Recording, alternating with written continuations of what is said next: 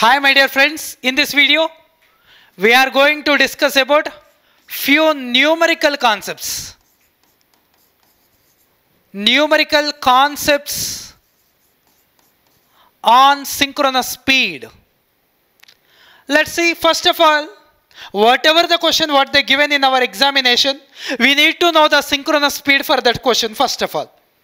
For example synchronous speed formula in generally, they will ask you for 50 hertz.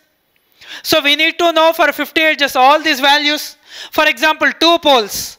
For two poles, 120 F by P, if you calculated 3000 is the RPM.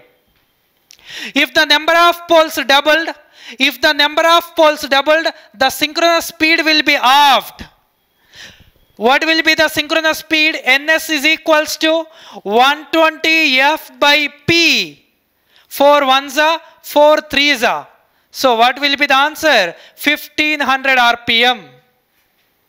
If the number of poles doubled, speed halved. If the number of poles triple, then the speed 1 by 3. 1 by 3 times of 3000, 1000 RPM. We can like that. Otherwise you can calculate. If the number of poles are doubled, the synchronous speed halved from 4 pole to 8 pole, 1500 to 750. If the number of poles 10, then the synchronous speed 120 F by P. 0, 0 cancel, 5 12s are 60, 600 RPM. For 12 pole, if you calculate, you can get 500 RPM. Like that, you need to know all these. So for 50 hertz, what will be the maximum speed? The maximum speed is the 3000 RPM is the maximum. For 60 hertz also, you need to know. For 60 hertz, its value 3600. This value 1800. This value 1200 this value 900 this value 720 and for 12 poles 600 you need to know for 60 hertz also. Okay then after. For example they will ask you a question like this. If uh, frequency and number of poles halved then the synchronous speed will be what will be the synchronous speed formula? Ns is equals to 120 F frequency halved F by 2 and number of poles also halved P by 2 2 to cancel again 120 F by P. So if the frequency and number of poles halved the synchronous speed no change. Then after they will ask you question like this frequency number of poles and load halved and load. So tell me, Ns is equals to 120, that is F by 2 and P by 2. What about load? There is no any load components here. So these two gets cancelled. Again the value is same 120 F by P. No change again. Then what about the load? Actually the synchronous speed independent of load.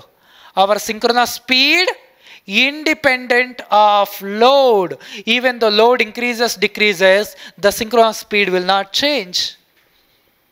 For example, they asked you a question, a 50 hertz AC machine having 6 number of poles. If rotor speed 1000 rpm, 970 rpm, 1050 rpm, then what it will be? Option A, induction motor. Option B, induction generator, synchronous machine, like that. They will ask you question. So, first of all, we need to know the synchronous speed.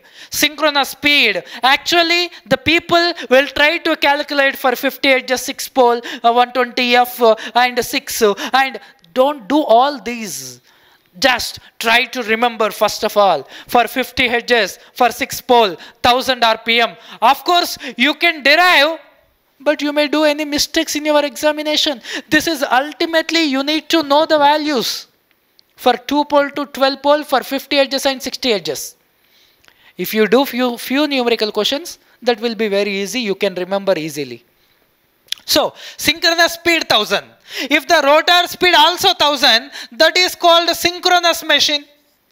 If the rotor speed less than 1000, that is called induction motor. if the rotor speed greater than synchronous speed, that is called induction generator. Induction generator, that's very simple. You can calculate easily. For example, a synchronous generator having 8 poles which rotating at 900 rpm, then its frequency. They asked in reverse. So tell me, what will be the answer? The speed they given 120 rpm. ns is equals to 120 f by p. I know the p value.